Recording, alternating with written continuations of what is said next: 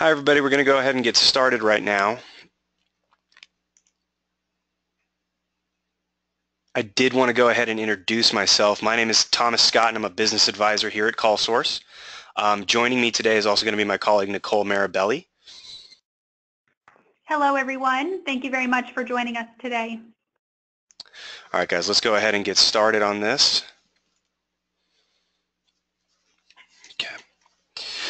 Um, I'd like to let you guys know that I do want this to be an interactive webinar. So if you do have any questions, um, please feel free to submit them into the question box or to raise your hand on the dashboard um, if you want to participate in the Q&A session after the uh, actual presentation. Um, if you haven't done so already, please remember to select the telephone option under the audio section of your dashboard to call into today's meeting. It'll provide a phone number and an audio pin access code that's unique to everybody. Um, again, at the end of the presentation, please feel free to ask questions and participate. We are going to be recording this and the recording is going to be available to you um, once we finish today. So today we're going to be looking at managing business constraints. So the concept of managing business constraints or managing constraint points wasn't actually my idea. Giving credit where credit's due, it was originally presented in a book called The Goal, a process of ongoing improvement by Eliyahu M. Goldratt. This book actually provides insight into the constraints faced by a manufacturing company, but the concept can be applied to your business as well. So the theory of constraints breaks down into identifying the most important limiting factor or the constraint point that stands in the way of achieving a goal and then systematically improving that constraint until it's no longer a limiting factor. This can be actually summed up by a quote by Goldratt, the capacity of your business is equal to the capacity of its bottlenecks. There's a lot of data that is available to you. So knowing how to separate the metrics that are responsible for growth from all other data, uh, data actually clarifies what needs to be managed. Each growth metric can be a constraining point in a business, and knowing how to implement a process of ongoing improvement in the business, you can actually identify the most important constraint that stands in the way of achieving your goal. In order to achieve higher results, whether in a personal life or in your business, you do need to set goals. A business cannot manage for improvement without understanding where you're already finding success and where there's opportunity for improvement.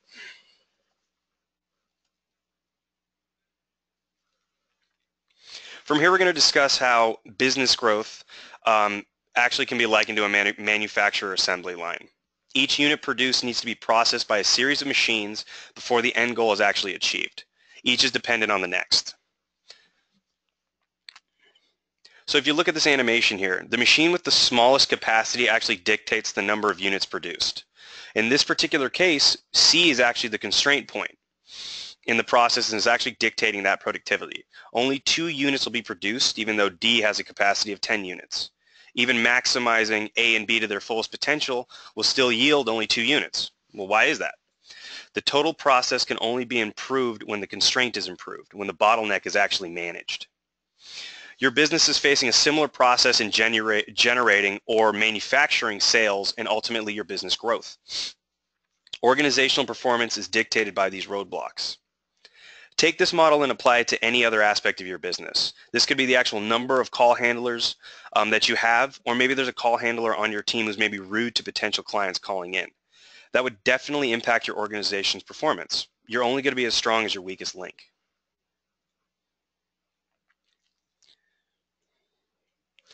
So capacity constraints. These restrictions, uh, these are restrictions that prevent your business from maximizing its performance and reaching its goals.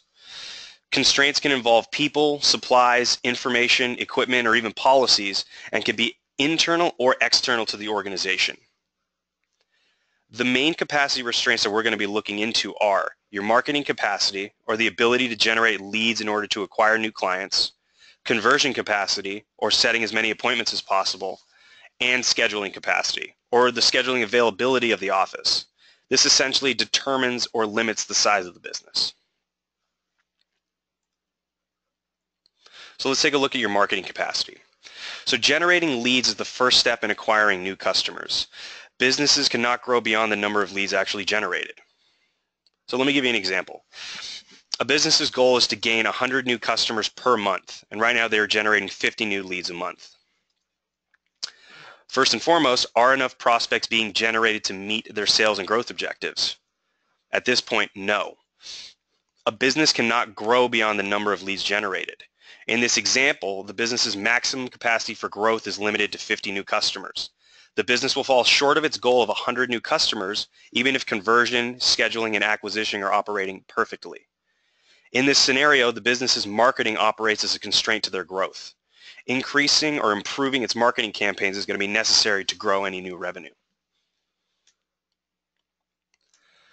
So how are you able to manage that marketing capacity constraint? Can additional prospects potentially be generated? Absolutely. How are we going to go ahead and achieve this? Well, the first thing that can be done is going to be additional marketing. This would need to be carefully measured for effectiveness. As business leaders, we know you don't want to throw money away at the problem, and we know that marketing is an expensive um, is an expensive proposition.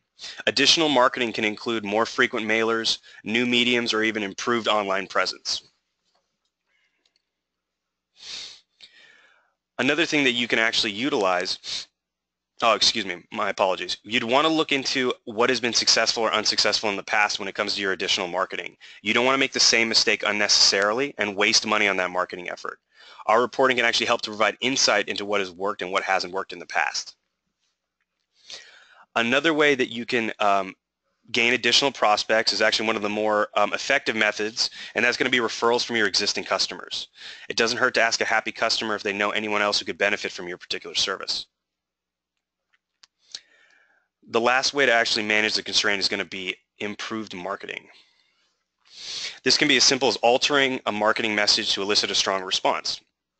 This allows new marketing effort without spending additional money in new marketing sources. Improved marketing can also include ending campaigns that are yielding low returns.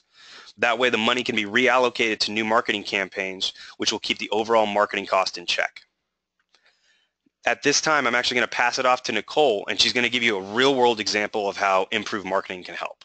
Go ahead and take it away, Nicole. Thank you, Thomas. So I would like to share a success story that I used with my client where they identified and managed a capacity constraint using our CallSource data. So what they found is their team was performing at a high level. They had very high conversion rates, yet they still were not reaching their overall business goals. So we looked at their data and we identified it was their marketing that was acting as a constraint and that's what needed to be managed. They were just not generating enough leads in order to meet their overall business objectives. So the question that we had to ask was, can additional prospects be generated? So by supplying that marketing transparency, the CallSource reports help them ensure that they weren't spending advertising, spending marketing dollars on advertising that was not performing for them. So they utilized their reports and trending data, as you see here on the screen, to understand and maximize their marketing investment return. So this graph represents the client's prospect call volume for their newspaper and website campaigns. The first step was to verify if the advertising campaign that they thought was a strong performer, their newspaper campaign, which they had been using for many years, was actually yielding the best returns. By determining how much a quality lead costs you across each campaign, you'll be able to weigh your return on investment and make sure your marketing dollars are being spent in the best method possible. And through our metrics, they identified their newspaper campaign not only was very expensive for them, it wasn't returning as strong of a result as it had in the past for them. And you need to learn what works and what doesn't work. And the only way to understand this is by testing the waters and allocating some of your budget to some new avenues. I know everyone hates spending money, but if you spend money in the right way, it's going to be essential to create growth and our analytics help support their decision in reallocating marketing dollars from their newspaper campaign. So they decided they were going to invest in their website as noted here. This allowed the client to generate more leads without spending any additional money on marketing sources. After they made the switch, they quickly found their investment paid off.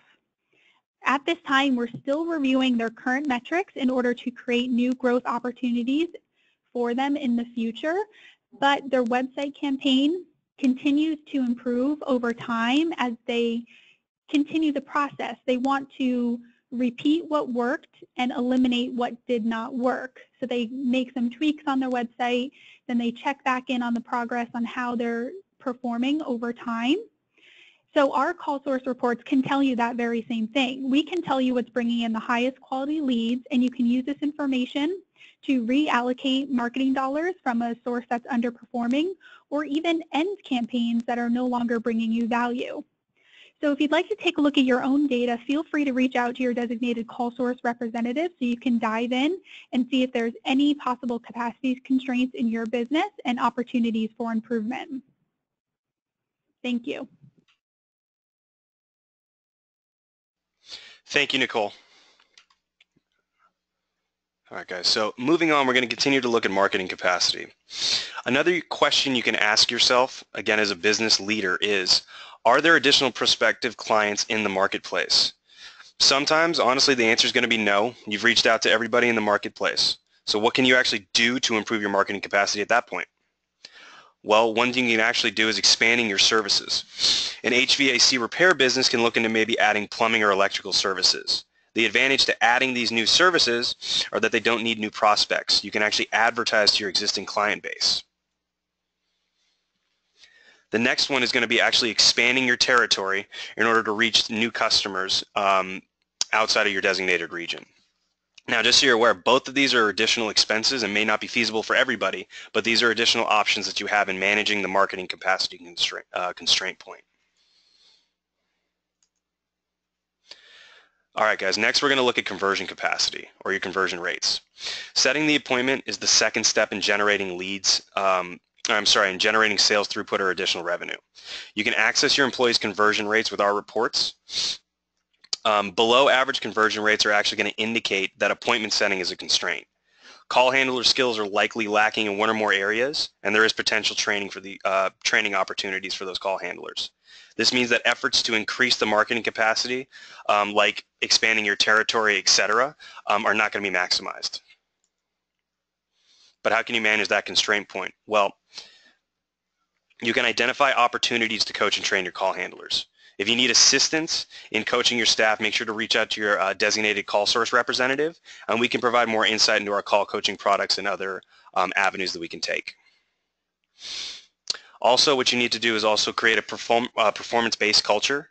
So make sure to establish goals for your call handlers, review, uh, review call recordings with your call handlers, provide constructive feedback, and if you haven't done so already, try to set up an incentive program for your team. All right, scheduling capacity. This is the ability to book appointments for prospects or customers seeking service, and it's essential to growing a business. Again, scheduling availability essentially determines or limits the size of your business. Businesses that reach their maximum scheduling capacity must turn away customers. This allows you the luxury of actually being selective uh, with which appointments you take. However, unscheduled prospects may be permanently lost customers. So one thing to keep in mind if you are having a scheduling capacity issue, um, are you able to actually purchase new trucks or hire additional personnel to accommodate more prospective clients? It's just something to keep in mind. All right.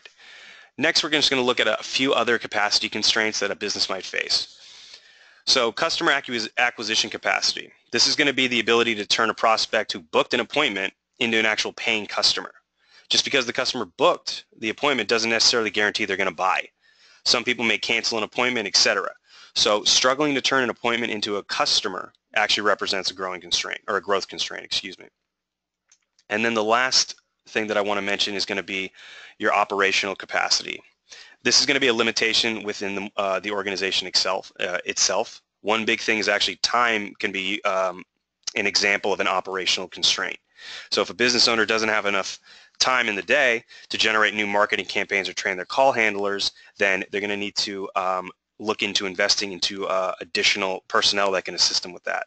Now, this is not something that we can actually measure directly with our um, analytics. However, um, we can assist and try to overcome these constraint points.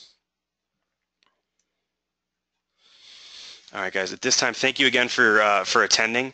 Um, I do want to keep. Uh, I do want to remind you that we do have another um, webinar coming uh, coming soon. So please keep an eye out for uh, the communication for that, and it's actually going to be on how to communicate with your team. Uh, at this time, I do actually want to open it up to a few questions. If you have anything, please feel free to type into the question box or uh, raise your hand and I can, I can unmute you to actually ask the question. Thomas, I actually was thinking of something as you were talking about operational capacity.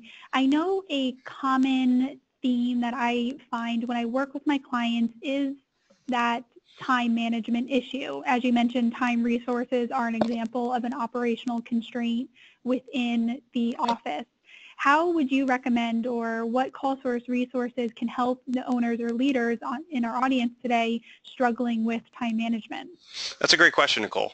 I mean, to be honest, there's a few ways that we can actually assist. I mean, first and foremost, what I would recommend is actually reaching out to your designated CallSource rep. They have a multitude of different um, documentation and materials that they can use to help with these situations. Um, also, there's an individualized aspect to this. Not every business is the same. So again, I would make sure to reach out to your uh, CallSource representative to see what they can do in order to kind of suggest the next, uh, the best next step for uh, those operational constraints. Another thing that we can do or that I highly recommend is actually attending these webinar sessions that we're going to continue to host multiples of um, because those will actually also provide insight into what can be done um, for business leaders going forward. That's great. Thank you very much. You got it. Um, I actually had another question come through. Um, it's pretty simple. What reports can be pulled to show these constraint points? Again, there's quite a few reports that we can provide you guys that have different analytics. I would reach out to your CallSource rep um, so they can break down that information for you specifically. All right, guys, I'm not seeing any additional questions come in at this time. Um, so what I'm going to do, we're going to end the presentation. This pre uh, presentation will be available to you um, later on today. Um, and if you do have any questions or if you need uh, any assistance, again, please reach out to your designated CallSource rep. Thanks again, everybody, for your time.